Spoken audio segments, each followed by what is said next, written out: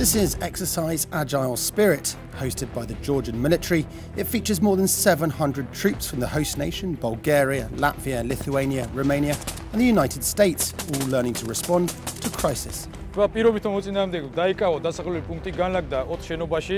პირველ შენობაზე იერიში მიქონდა ქართულ ათეულს, მეორე შენობა გაწმინდა რუმინულმა ათეულმა, ხოლო მესამე შენობას უტევდა ბულგარული ათეული.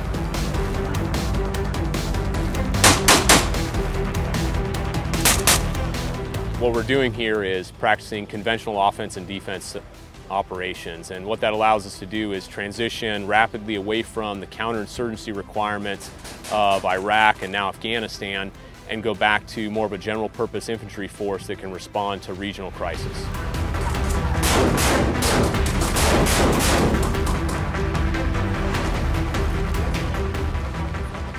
Traditionally a bilateral exercise between Georgia and the United States, this year's Agile Spirit for Georgia, a NATO partner, has added significance.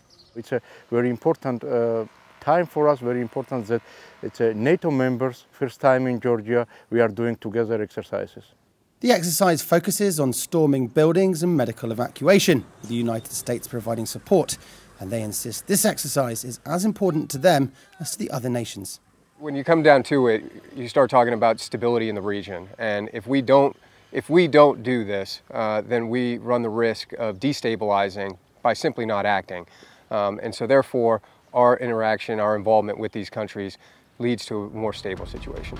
This year's expansion of Agile Spirit is helping strengthen relationships between nations and teaching soldiers from several countries new skills that will enable them to form a more cohesive unit in the future. This is Jake Tutman reporting from Tbilisi for NATO Channel.